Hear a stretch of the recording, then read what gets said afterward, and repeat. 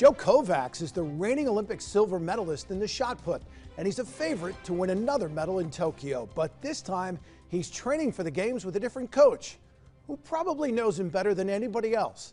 Matt Barnes has the story. From the weight room to the throwing circle to the kitchen, it's hard to find Joe and Ashley Kovacs apart. That's because the two aren't just husband and wife, but also athlete and coach. It really kicked off in 2017 after our U.S. Championships. Um, we started talking. She sent me a bottle of uh, almond butter that she, or, that she made she made for me. I brought it to the World Championships with me in 2017. Came back with a silver medal for it. All that talking, all that almond butter, I packed up all my things and came here to Ohio. So it was worth it. The two were married in 2018, and Ashley became his coach months later to go along with her job as a throwing coach at The Ohio State University.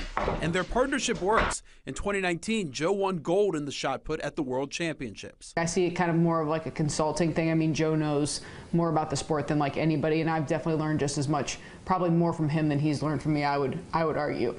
But, um, but it's been really good and it works really well. During quarantine, Ashley and Joe never stopped training, whether outside in the snow or in their basement.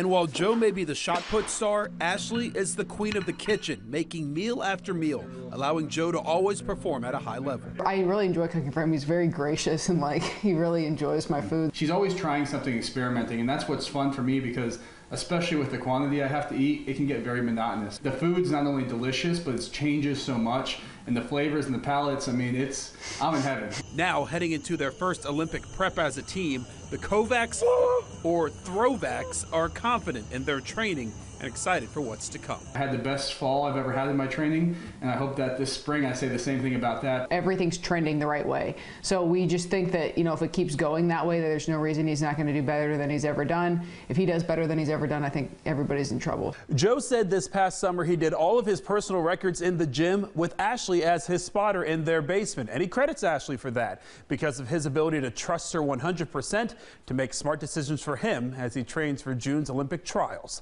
On the journey to Japan, I'm Matt Barnes.